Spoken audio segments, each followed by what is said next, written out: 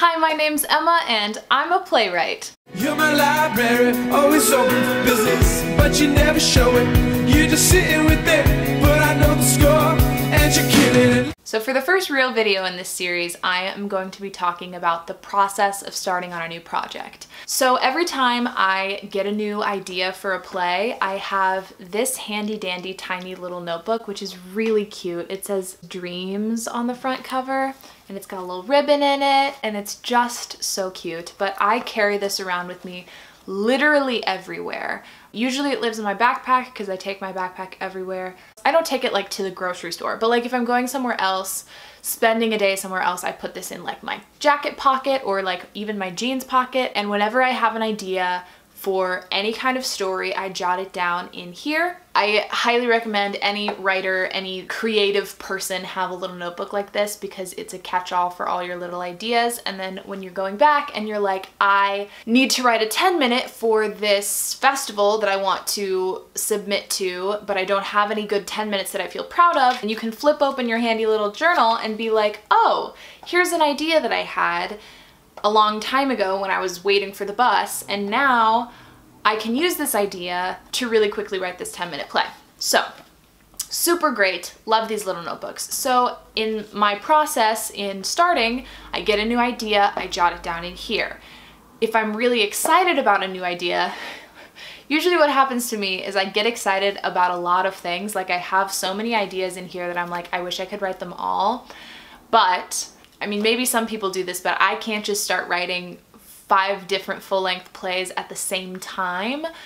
I can be in different processes with many different plays at the same time, which is where I am right now, but I can't start a bunch of new things at once, so I have to pick the one that I'm most excited about and stick with it until I have a draft of it. So I'm trying to decide how much I want to tell you about like my capstone and I want to keep it pretty vague but I had an idea that I wanted to write about immigrants because of everything that's happening in our country right now.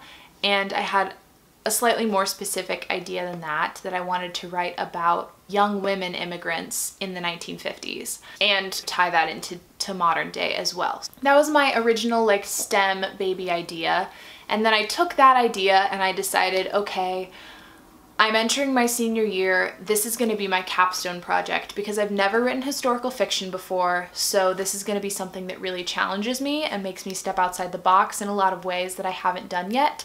And it's going to make me explore a lot in terms of dialogue because all these women are going to speak differently. So it's going to be a big challenge. And honestly, I am terrified, scared out of my skin, especially because I am a white woman and I'm trying to write a story about immigrants. And to be fair, some of these immigrants are like Irish and German and I'm German. And like I'm really scared that I'm going to misrepresent someone. And I think that is something that is terrifying for me. And I'm trying my best to do research and talk to people and talk to my wonderful dramaturg and make sure that I am telling the story with care. Uh, that kind of went on a tangent. I don't know how to structure these videos. Okay, so back to planning and how to start the process. So I have my idea. I now know that I'm going to use this idea to actually write a full-length play and I know in what time frame I'm going to write it because I'm going to write it over the course of this semester and then next semester I will culminate it in doing a workshop and a staged reading of it so that it gets put out into the world. But the writing itself will take place this first semester. So then I start with what my playwriting teacher has taught me to call the discovery process, which is basically where I do a ton of things to get together a bunch of ideas, a bunch of research, a bunch of images, music, anything that I think feeds into the world of the play and helps create the world of the play, I compile and that is the discovery process. So I have another notebook specifically for my discovery process and that is this beautiful baby which I actually just got this semester so this is a fairly new thing for me that I'm trying out. The thing that I love about this notebook is it has blank space and then it also has this grid down below, which I think is incredibly useful because what I can do is I can draw in the upper section and then I can write in the lower sections. So on this page I have information about Ariella, my Jewish American character. I've done a basic character breakdown outlining things like her values, her goals, her obstacles, and then I also put a collage of images of just people that make me think of this character. Like we have Miss Maisel from the uh, Marvelous Ms. Maisel, which I love that show. This like collage page is helping me get a clear idea of who these characters are before I start writing them. So I do the breakdown of the characters because I am such a character oriented person. I start with character and then the thing that I struggle with is plot. So the next step is to figure out what my characters are doing, which is plot. So when I figure out their goals and obstacles, that kind of starts to feed into what the plot is. Another thing that I've learned from my playwriting teacher is I like to do the Pixar story structure. So I just start with once upon a time there was blank and then you have your main character. Every day blank did this and then you have your stasis A, so the things that happen before the play takes off. Until one day blank. The until one day is your inciting incident, so it's that moment that sparks the rest of the action and starts starts your play off on its course. And so then you have the because of that, which are all of the rising action of the play. So because of that, so-and-so does this. Because of that, so-and-so does this. Because of that, so-and-so does this. Because of that, so-and-so does this. And that is all of your action that's taking place in the meat of your play. And then you get to the crisis climax, which is basically until one day, blank. This happens. Whatever that thing is has thrust you into your stasis B. So it has irrevocably changed your character from beginning to end in some way. So that's what I do to figure out the plot of a play. I'm struggling with this play because it's a lot of characters sort of sharing the protagonist role in a way. There is still a protagonist, but I don't want to talk too much about that yet because I haven't totally figured it out. But there are all of these subplots, which is something that I'm, I'm trying to wrap my mind around at this point. So Pixar story structure is a helpful way to simplify plot. And then after I have figured out those things, I do things like finding music that I think inspires the show. In this case, because this is historical fiction, I'm reading, I'm trying to find a lot of interviews from um, immigrants from these countries that that my immigrants are from and I'm trying to find interviews with them so that I can hear or at least see written out how they speak so that I can use that in my dialogue. And so that is another useful way that I'm gathering information for discovery process now.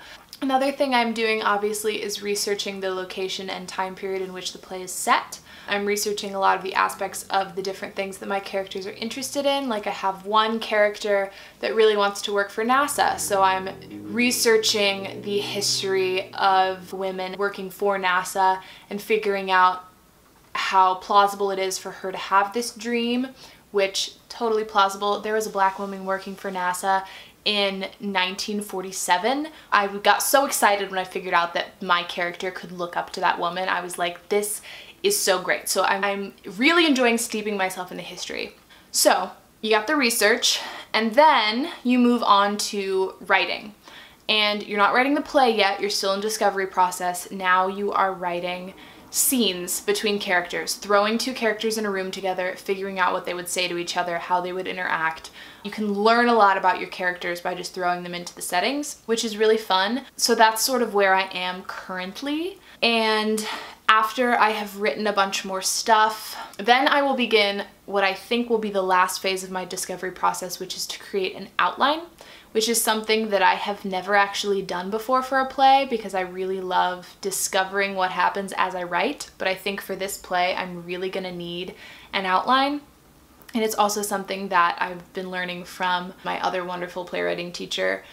And she said that she creates outlines for all of her stuff. And I was like, I need to try that. So I'm gonna do an outline, basically starting from scene one and saying this is the scene, this is everything that I need to accomplish in this scene, moving on to scene two, going through the whole play in that fashion outlining it, and then I will move into the actual writing process, which will be discussed in another video.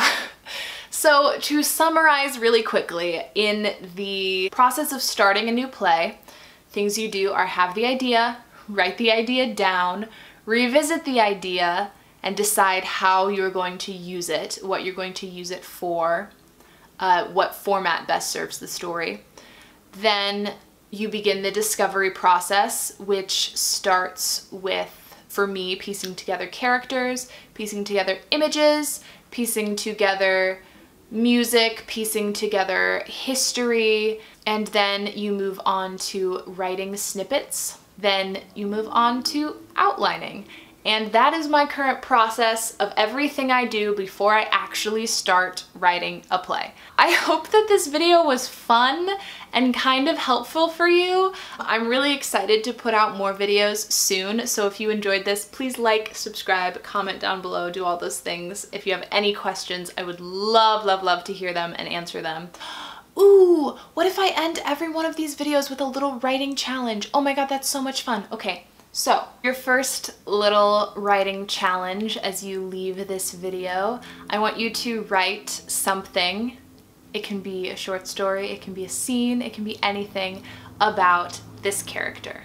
Comment down below if you completed that challenge and if enough people are interested, I would love to create some sort of Dropbox online where we can share stories for anyone who's interested sharing these prompts. And thank you so much for watching, happy writing, and I'll see you soon in the next video. Bye! Mwah.